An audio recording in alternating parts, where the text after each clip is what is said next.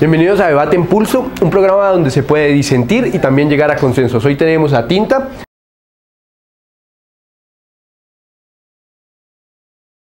Y a Crisca, que van a debatir sobre si la pinta debe determinar cómo debemos ser tratados en la sociedad.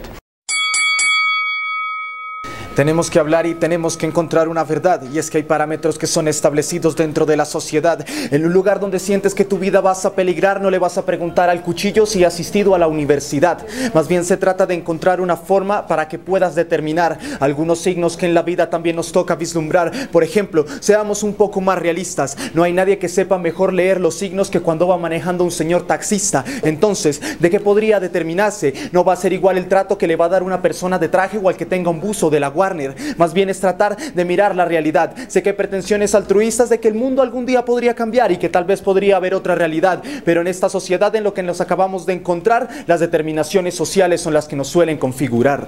Mira, Tinta, ahora te puedo decir yo mi argumento. Lo que pasa es que realmente va en el pensamiento. lo que vistes no define lo que yo siento, sino más bien la experiencia es lo que define los momentos. Claro, yo puedo ir como un gamín o tal vez ancho el pantalón, pero es que eso no define mi situación. Claro, tengo un pensamiento y eso no lo hace por como visto, porque lo que leen los libros es lo que hace una persona más listo. Sí, también tienes que definir que en la apariencia no se llevan las opciones, sino que de vestir yo tengo muchas opciones. Sí, tal vez tengo ancho los pantalones, pero no tiene nada que ver porque me definen son mis acciones. Como persona, como ser humano, claro, y no importa en la forma en que te des la mano, porque lo que importa es la energía que transmite una persona y no importa porque las sensaciones son lo que emocionan y lo que la persona razonan. Sí, porque también la apariencia no debe definir a cómo es un ser, en la forma en que se pueda ver o la forma en que se pueda expresar o leer. Lo que importa en la persona son los sentimientos y el más allá. Por eso una persona, no la apariencia, no lo hace más capaz.